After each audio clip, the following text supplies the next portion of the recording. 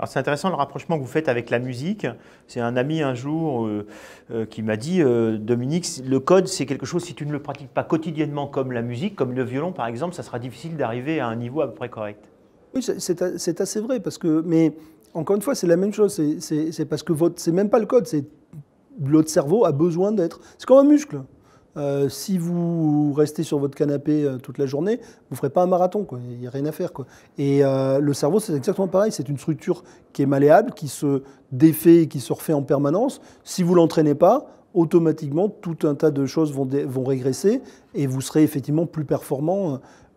truc. Alors en plus, si on parle de, de virtuosité, on parle d'excellence. Donc on est en train de se parler du mieux qu'on puisse atteindre. Bah forcément, il faut, pratiquer. Vous imaginez aucun, grand sportif qui ne serait pas en train de s'entraîner toute la semaine. Donc un cerveau, c'est pareil. Si vous voulez être au top mondial en code, ou au top mondial en mathématiques, ou même au top mondial en musique, euh, bah, n'y a pas de magie. Hein. Il faut, faut, en faire, il faut en faire encore et, encore. Si on regarde un petit peu, si on cartographie un petit peu les formations où on aborde justement le code, il y a les écoles d'ingénieurs aujourd'hui, il y en a beaucoup en France avec des avantages, avec des inconvénients de ces écoles, on va dire, que l'on pourrait qualifier traditionnelles par rapport à celle-ci qui que, l'on connaît comme, euh, comme innovantes.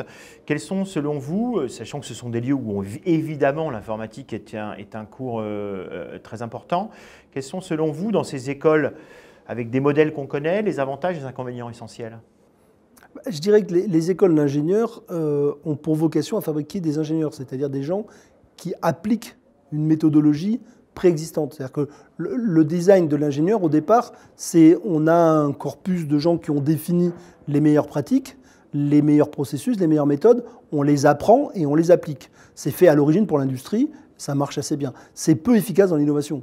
Euh, c'est même très peu efficace, puisqu'on, par définition, si on s'appuie sur des méthodes statiques, on a peu de chances de créer du nouveau. C'est un problème de généricité. On va faire de l'innovation incrémentale assez facilement, c'est-à-dire qu'on va améliorer petit à petit les différents processus par différenciation. Hein. C'est tout le, processus ingénierie industrielle qui consiste à faire des essais, puis on essaye. Euh, on a très peu de chances de tomber sur de l'innovation de rupture, parce que par définition, on fabrique des gens qui sont, qui, sont processés. Euh, à côté de ça, on a besoin, et en plus on a besoin des deux. C'est-à-dire qu'il faut bien comprendre qu'une fois que vous avez une innovation, il faut la produire. Hein, donc euh, c'est souvent ce qui crée les, meilleurs, les meilleurs résultats, ce n'est pas des, étudiants de 42, ce n'est pas des ingénieurs, ce n'est pas des artistes, ce n'est pas des gens d'école de commerce, c'est quand vous les mettez ensemble et que chacun apporte sa propre passion, parce que bien sûr vous inventez un nouvel objet, si on est incapable de le produire, donc là, vous avez besoin d'ingénieurs, de processus. Euh, bien sûr, il va falloir après l'intégrer, le, marketer. Bien sûr, il faut que tout ça fonctionne ensemble, mais il faut que tout ça fonctionne ensemble, non pas en mode additif, mais en mode co-créatif. C'est-à-dire qu'il faut que chacun participe à la sérendipité de l'autre. C'est-à-dire qu'il faut qu'on vienne se confronter. Et là, vous avez des idées extraordinaires qui sortent et des résultats. Hein. On était dans un système finalement de production industrielle où finalement il y avait très peu de gens qui avaient des idées. Et l'enjeu finalement, c'était de produire en masse ces idées avec une grande qualité. Et pour ça, on a développé une armée d'ingénieurs capables, à partir de très peu de créatifs, hein, puisqu'on avait un, par quand vous prenez une voiture, vous avez un petit groupe de créatifs et vous en faites 300 000 des voitures, plutôt même plutôt 3 millions. Euh, là, on n'est plus, plus dans ce rapport, on est dans les objets qui sont quasi individuels. Hein. donc on a besoin de plus de créatifs par rapport au ratio de, productifs. Mais on a quand même besoin de produire. Même si produire aujourd'hui est plus efficace parce qu'on a des systèmes qui font que le ratio entre le besoin d'être humain pour produire est en train de baisser, il va baisser drastiquement à long, terme puisque la partie physique va disparaître puisqu'on aura des robots. La partie, je dirais, mécanisable de la partie de la pensée sera aussi automatisée par des systèmes d'intelligence artificielle, mais on aura quand même besoin de gens qui vont mettre en place des méthodologies et s'assurer de la qualité, et etc., etc. Donc, vous voyez, c'est pas, c'est pas on n'est pas dans un changement radical. On est dans une, dans une progression où finalement on déplace la barre de ratio entre créativité et production et production physique. Alors on pourrait considérer un petit peu à l'opposé sur euh, cette cartographie des, des formations. Euh, qu'est-ce que vous pensez de, de, l'enseignement plus théorique de l'informatique à l'université? Alors là, là aussi, je, je, pense que c'est tout à fait synergique. On a besoin d'une part théorique, dans, l'informatique. D'ailleurs, au, passage, il y a une confusion. L'informatique elle-même n'est pas une science. Okay euh, enfin, ça, dépend ce qu'on appelle l'informatique. C'est toute une question de, toute une question de vocabulaire.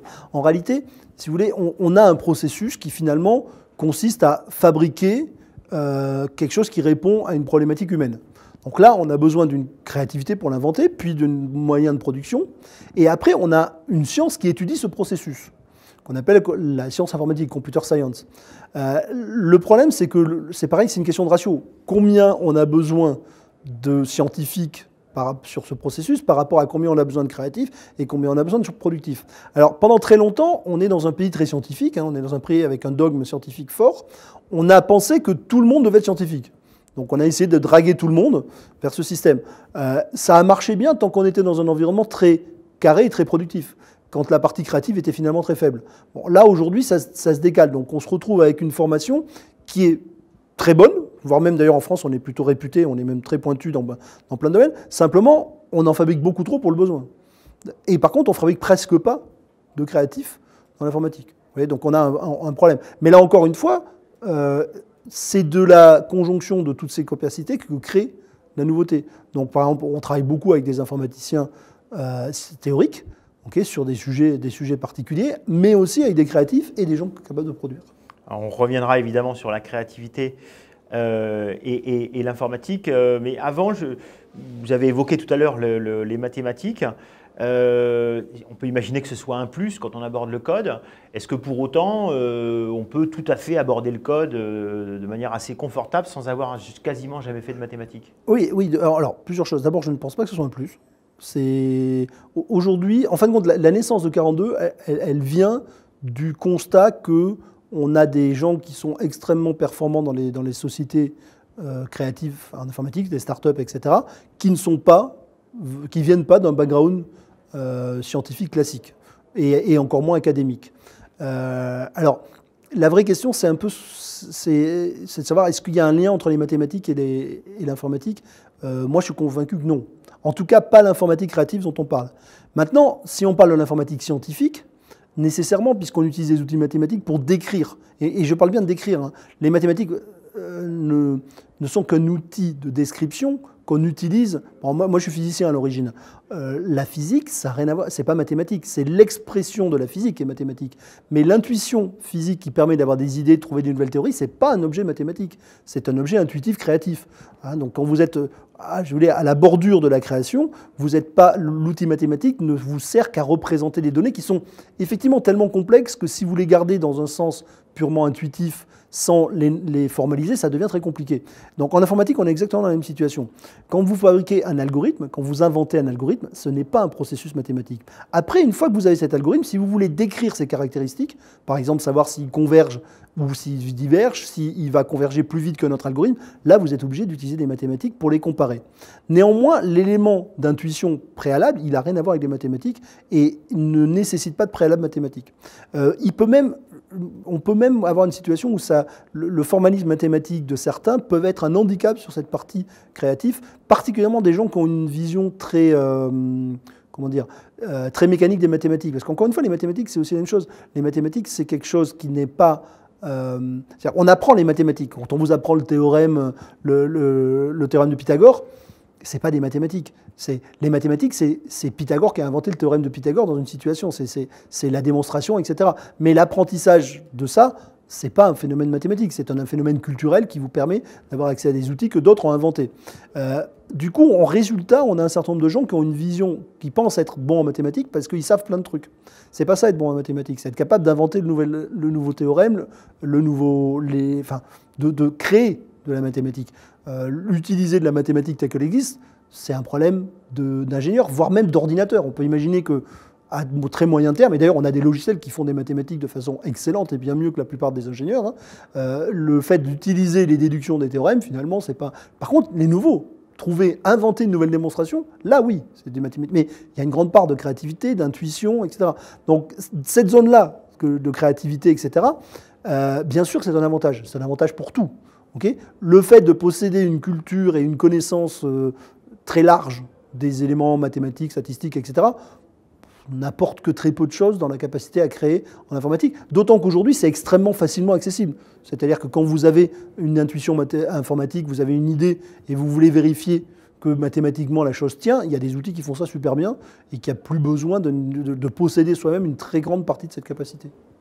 Vous parlez beaucoup de, créativité. Je pense moi aussi que la créativité n'est pas le, seulement réservée à l'école d'art et qu'il y a une part de créativité aussi euh, euh, chez les businessmen ou euh, dans, l'écosystème dans lequel on vit aujourd'hui. Et d'ailleurs, vous allez jusqu'à dire que finalement l'informatique, vous l'envisagez vraiment pas comme une science, mais plutôt comme un art. Oui, alors déjà, déjà je l'envisage absolument pas comme une science. C'est-à-dire qu'il faut bien comprendre qu'une science, euh, c'est fait pour, c'est un processus qui découle du, processus scientifique, qui est fait pour étudier la nature, euh, ou en tout cas un processus stable. Euh, l'informatique n'est pas stable. L'informatique, c'est des conventions entre êtres humains. C'est-à-dire, c'est des choses qu'on décide entre nous, qui fait que c'est réentrant. Ça veut dire que quand on est créatif dans l'informatique, on modifie aussi l'informatique. Il n'y a pas un préexistant comme la nature. Du coup, la mécanique scientifique, elle ne marche pas avec l'informatique. C'est-à-dire que le fait de se dire que quand on va faire deux fois la même chose, ça aura toujours le même résultat, c'est pas vrai en informatique, puisque on va changer les règles. Hein. Je, donne toujours un exemple qui est un peu ridicule, mais qui permet de mieux comprendre. C'est si vous prenez par exemple un architecte romain, vous le téléportez aujourd'hui, vous lui demandez de faire un pont, il peut faire un pont. C'est-à-dire s'il fait exactement les mêmes gestes qu'il y a 3000 ans, ça va marcher. Un programme d'il y a 5 ans, ça ne marche pas. Parce que le monde a changé en informatique, parce qu'il n'y a pas de nature, il n'y a pas un objet qui, lui, est indépendant et stable pour toujours. Enfin, toujours, on ne sait pas la nature, mais en tout cas pour depuis longtemps et qu'il y a des chances de rester. Donc le processus même scientifique n'a pas de sens dans l'informatique. C'est en ça que je dis que l'informatique est plus proche d'un art. Parce qu'un art, c'est pareil, c'est un ensemble de conventions entre êtres humains qu'on modifie, machin, et donc qui se réinvente tout le temps, il y a des modes, etc. L'informatique fonctionne exactement pareil. Donc il faut bien comprendre que ça ne peut pas être un, élément scientifique. Après, est-ce que c'est un art? Est-ce que ça ressemble Ça ressemble beaucoup au droit? C'est un ensemble de conventions, sauf que c'est très jeune. Vous voyez, on est au début de cette convention. Le, droit est là depuis à peu près se construit sur 3000 ans d'histoire, etc. Mais en informatique, ça fait 50 ans. Donc on est dans un domaine qui change tout le temps. Et où la notion de reproductivité n'a pas de sens. C'est un peu comme si vous, faites, vous peignez deux fois le même tableau, bah, la deuxième fois, ça n'a pas grand apport. En informatique, c'est pareil. Si demain vous refaites Google, bah, ça existe déjà. Quoi, hein. Si euh, vous essayez de créer quelque chose qui a des... Enfin, reproduire, en informatique, il suffit de copier. On a des logiciels qui le font, donc ça n'a aucune valeur. Donc il faut rajouter du nouveau tout le temps. On est quand même dans un domaine qui est en soi complexe. Hein. La connaissance en informatique est très problématique. Quand vous savez quelque chose en informatique, il y a de bonnes chances que ça devienne faux prochainement. Euh, ce qui est quand même pas courant en art, euh, en, en, science. En science, quand vous savez quelque chose, c'est toujours vrai. Hein. Une théorie va pouvoir peut-être l'affiner, mais ce qu'on a vu, vous dites, moi je prends une pomme, elle tombe, eh ben, elle tombe. et demain, elle continuera à tomber. Le comment elle tombe ne changera jamais. La façon dont nous, êtres humains, pensons comprendre comment elle tombe, peut-être. Mais la réalité, on n'a pas d'effet sur la réalité. En informatique, on a un effet. Donc un, ça ne peut pas être une science.